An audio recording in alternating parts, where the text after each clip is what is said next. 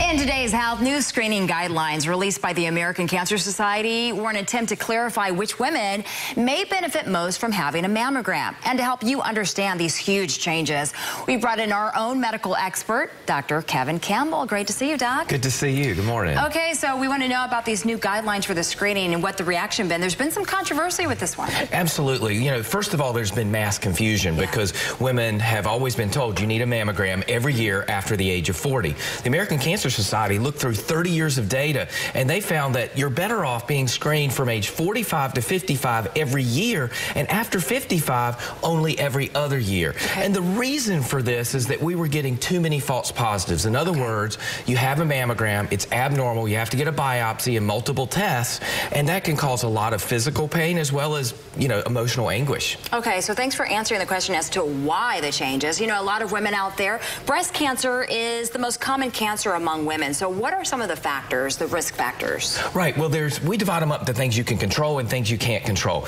Age, race, family history, and gender are things that you really uh, can't control. The things you can control, smoking, uh, sedentary lifestyle, not getting enough exercise, eating a high-fat diet, and alcohol abuse. You know, the overall message here is, you know, work with your doctor, understand mm. what your risk is, yes. and modify what you can modify. Right. So this is saying, you know, for women out there who want to have the mammograms, even if they fall outside of that, you know, if they're younger, maybe in their 30s or in their 40s, and perhaps they're worried about, you know, a family uh, diagnosis or a family history, uh, and they still want to have the procedure done, they can.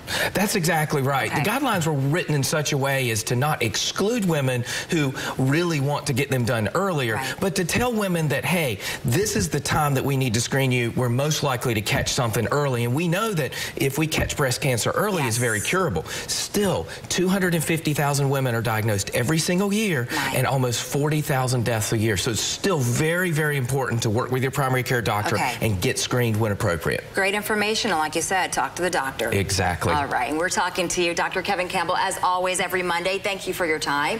And if you'd like to reach out to Dr. Campbell, it's easy to do. We've got some great links that you can check out at WNCN.com, links to your Facebook page as well as to your Twitter, and just to reach out with your questions. Exactly. And we'll be happy to answer your back. Thanks a lot, Dr. Dr.